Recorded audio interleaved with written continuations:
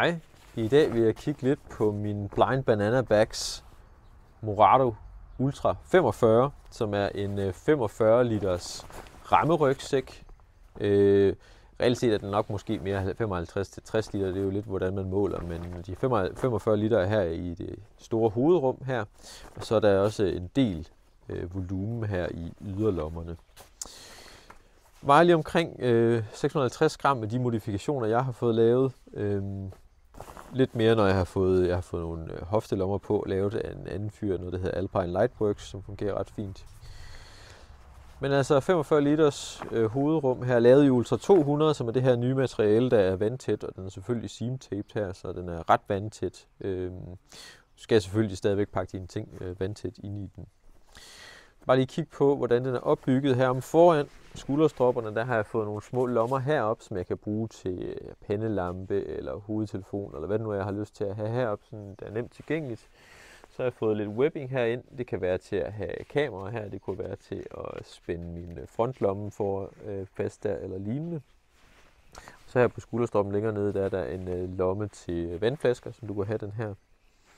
Øhm, så har du så webbing her, så du kan sætte en eller to, hvis du vil. Øhm, hvad hedder det, brystremme ind her. Om på selve ryggen, der har du sådan en, øh, en sitpad her, som fungerer både til at give noget ventilation og give lidt øh, beskyttelse af ryggen, men også er rigtig fint til pause selvfølgelig. Du kan have den der, sidder i noget stretch mesh her. Du kan sådan set også godt sætte mere ind bagved det, hvis du vil. Så inde bagved her, der sidder den her U formet aluminiumsramme, som går rundt herop og herned. Den kan du selvfølgelig tage ud, hvis du vil det. Hvis du bare vil bruge den som en rammeløs rygsæk, øh, så kunne du tage den ud, hvis du vil det. Øh. Det, der er lidt specielt ved hvad hedder det, Blind Banana Bags, den måde August han laver hans øh, hoftebælte på, er begyndt at lave på, er ret fed, synes jeg. Hvor den har sådan lidt et, et flydende hoftebælte her. Det er altså ikke syet fast inde på selve rygsækken, øh, men kan tages af og sidder i sådan nogle små øh, spænder hernede på bunden her, hvor den sidder fast her for inden af der, hvor aluminiumsrammen øh, herinde, den sidder fast. Og så sidder den så fast heroppe også med en lille strop her. Og det gør altså, at den kan bevæge sig, den her. Den kan sådan set også bevæge sig lidt sideværs, øh, som gør, at rygsækken i meget højere grad, end hvis den var fastsyet, som den er på næsten alle andre rygsække, øh, meget bedre kan bevæge sig med kroppen. Når du går opad, så kan du læne dig fremad, når du går øh, nedad, når du går til siden osv. Så, videre, så bevæger hoftebæltet sig her altså med dig.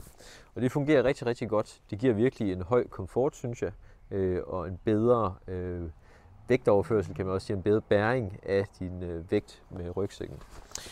Øhm, det er en letvægtsrygsæk, de har 650 gram, øh, så altså jeg har haft en 15-16 kilo på, der er det fint. Øh, meget højere vil jeg nok ikke gå, så skulle du op i nogle af de større modeller, August laver med, med, August laver med lidt øh, kraftigere bæresystem, kan man sige, lidt kraftigere rammer, de der forskellige ting. Men den fungerer rigtig fint til det her. På siden her har du nogle store lommer her med en lille elastik, der kan justeres, så du kan sådan tage den ind. De er meget nemmere at nå, øh, mens du har rygsækken på. Så har du øh, vandflaskerne der i stedet for jamen så fungerer det rigtig fint. Øh, som man også kan se her om på bæltet her, så er der to spænder her, man kan justere på. Og det gør altså, at du kan lidt justere, om du vil have vægten på oversiden af bæltet eller undersiden, eller sådan ligesom justere det meget bedre til, synes jeg, end du kan ved bare et spænde bælter her. Selvom de har sådan en samler her, hvor der går to sammen, så kan det fungere ret fint med det her, kan individuelt justere det, synes jeg. Så det fungerer også ret fint. Men altså, du kan meget nemt nå de her store lommer herude, når du har øh, flasker i dem, eller hvad du nu kunne tænke dig at have det i dem, øh, hvis du har handsker eller alt muligt andet udstyr. Og de er ret store, altså du kan nemt få to 1 liters flasker til at være i dem, og du kan altså have rimelig meget udstyr her. Du kan også have et relativt god størrelse telt her, man kan også få, øh, få øh, til at lave højere lommer, hvis man har et større telt, man gerne vil have der for eksempel, så det er også en god opbevaringsmulighed til det. Om på bagsiden her har jeg fået lavet det i øh, mesh-materiale, men det kan man også få lavet i stretch mesh, øh, stretch eller lignende. Det er jo lidt, hvad man er til. Øh, nu har jeg prøvet Geneva stretch på et par andre rygsæk, så vil jeg prøve almindelig øh, mesh, åben mesh her. Øhm, og det altså giver en ret god volumen her til tøj og hvad man nu ellers have. Så er der også en elastikstrop her, den kan man tage på eller lade være. Jeg bruger den ikke så meget, så det, nu sidder den der bare fordi, at så var det lige i starten. Men det kan godt være, at jeg fjerner den med tiden. Men det kan man jo bruge til at sætte ekstra ting her udenpå, til tøj her, det her, til at hænge tørre her.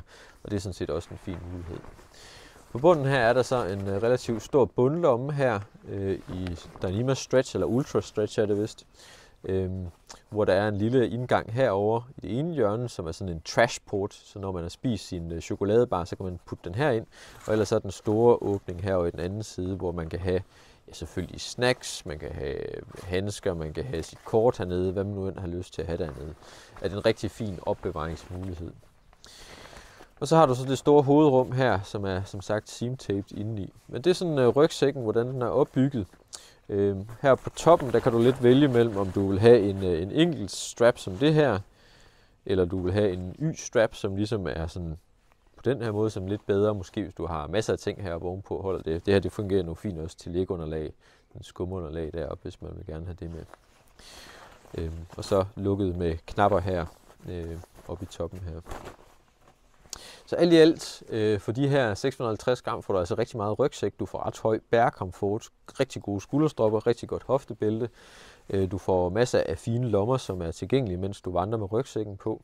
Øh, og du får generelt en rigtig fin, holdbar rygsæk øh, i gode materialer og rigtig god byggekvalitet. Øh, altså gode syninger og alle de her forskellige ting. Og du kan tilpasse det øh, sådan i relativt høj grad, kan man sige, med lommekonfiguration og materialer af de her forskellige ting her. Du kan også bruge anden Ultra 200, hvis du vil have noget, der er endnu mere, så kan du bruge TX-versionen af det. Som er endnu mere holdbar, selvom for de fleste er det her nu fint holdbart. Men til de større rygsæk kan man jo overveje det. Og så får du altså noget, hvor at der virkelig er tænkt over detaljerne, og man har udviklet fra nogle, øh, altså noget lidt, lidt originalt bæresystemer her. Store firmaer, jeg har prøvet, øh, kunne godt lære noget her, vil jeg sige. Så er du i markedet for en, øh, en rammerygsæk, hvor du kan bære de her 15-16 kilo, øh, eller du kan overveje de større modeller, hvis du har mere med, jamen så er øh, det her klart noget af det bedste, du kan finde på øh, markedet. Og det skader ikke, at du selv laver dine custom tilpasninger, og at det er lavet i Danmark, er jo også altid øh, et plus, kan man sige. Tag op i Aalborg og få en snak med August og få passet din ryglængde til, og lige der forskellige ting, man nu skal have gjort, og kigge lidt på, hvad han har på lager af ting, så du kan få noget inspiration der. Så kæmpe stor anbefaling til Blind Banana Bags. Øh, det er kvalitetsudstyr, øh, man kan bruge i mange år fremover, øh, og det giver altså noget det her med at selv kunne være med til at lave sin rygsæk. Det er bare fedt. Og så er det også nogle rigtig innovative idéer, der er i den her, synes jeg. Ja, jeg håber, jeg kunne bruge det til noget at indstille spørgsmål, og selvfølgelig også spørge August, hvis jeg har nogle spørgsmål til ham. men ellers så er vi jo heldige, at vi kan have den her luksus med, at vi har så meget fedt grej efterhånden. Øh, ja, håber, I kan bruge det til noget.